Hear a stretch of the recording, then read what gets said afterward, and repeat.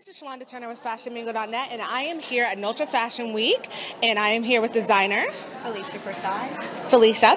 And can you tell us a little bit about your collection here and how important it is for you to be showing today at Nolcha Fashion Week during New York Fashion Week?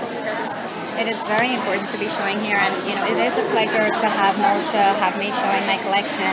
Um, a little bit of my collection, it's about print, and it's about uh, my whole focus on my collection is about the quality and the fit for women, for everyday, contemporary, on the go women.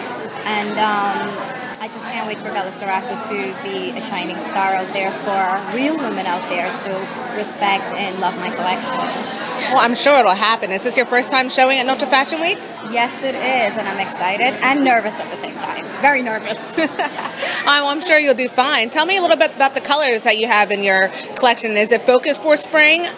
It is definitely focused for spring. I have a little bit of a snake print going on, solid, and I have a little bit of a sexy edge, which is lace. Awesome. Yes. Every lady loves lace, and I love the placement of lace nowadays. It's no longer like looks elderly or, or granny. It's just like sexy and appealing, and it's lovely. I love it. Absolutely. Listen, we're bringing out the lace from the bedroom to the real world. Reality.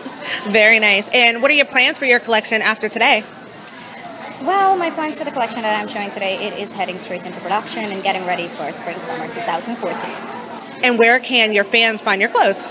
Right now they are in some special boutiques and but most of it will be online for now. And can tell us your website? belacriacao.com. Perfect. Yes. Well, great. Thank you, Felicia. It was very nice to interview, and good luck today.